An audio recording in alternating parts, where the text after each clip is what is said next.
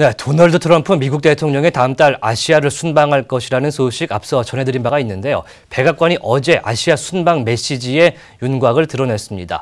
취재기자 연결해서 들어봅니다. 김가현 기자. 네, 보도국입니다. 네, 도널드 트럼프 미국 대통령의 아시아 순방, 이 북핵 위기의 중대 기로가 될 걸로 보인다고요. 어떻습니까? 네, 그렇습니다. 예. 백악관의 한 고위 관계자가 어제 트럼프 대통령의 아시아 순방 관련 브리핑을 통해 일정을 공개하며 이 같은 메시지를 남겼는데요. 북한의 의존 정도가 강한 최대 후원국 중국에 대해선 국제사회의 제재 동참을 넘어 독자 제재까지 단행하는 최대 압박을 주문하고 한국과 일본과는 북핵 저지를 위한 공조를 다짐함으로써 북핵 해법의 실마리를 마련하겠다는 겁니다. 예.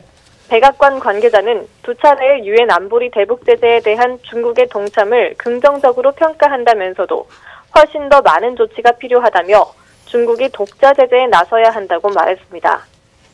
앞서 트럼프 대통령이 폭스뉴스 인터뷰를 통해 중국을 지렛대로 사용하겠다는 입장을 밝힌 데 이어 구상을 구체화시킨 것으로 풀이됩니다.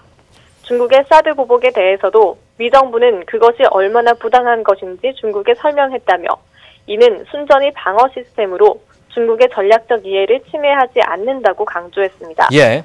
이와 함께 트럼프 대통령은 한국과 일본 등 동맹국 순방에서는 국회 연설과 일본 납치 피해자 가족과의 만남 등의 일정을 잡으며 동맹 관계와 대북 공조를 견고히 하고 대북 압박 메시지를 내놓은 것으로 내놓는데 주력할 것으로 보입니다. 예.